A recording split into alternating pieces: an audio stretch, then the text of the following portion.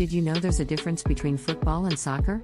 Football, as it's known in most parts of the world, refers to the sport played with a round ball, where players use their feet to control and move the ball.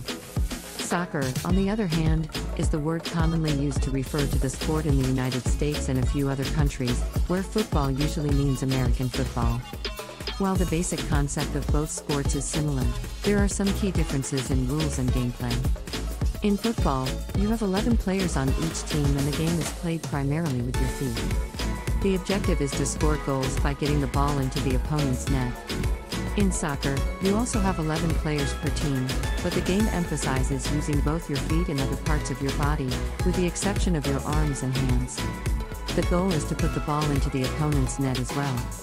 Another major difference lies in the way these sports are organized. Football is typically divided into four quarters, while soccer consists of two halves. The duration of a football game can vary, usually lasting around two to three hours, including halftime and breaks. A soccer match typically lasts for 90 minutes, divided into two equal halves, with added injury time.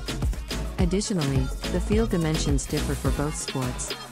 A football field is rectangular and measures about 100 yards, whereas a soccer field is generally wider, ranging from 50 to 100 yards, with a length between 100 and 130 yards. So, next time you're watching these sports, remember that football and soccer are both unique in their own ways. They may share similarities, but the gameplay, rules, and terminologies can vary depending on the region you're in. Thanks for watching this video. If you enjoyed it, don't forget to subscribe to our channel for more exciting content.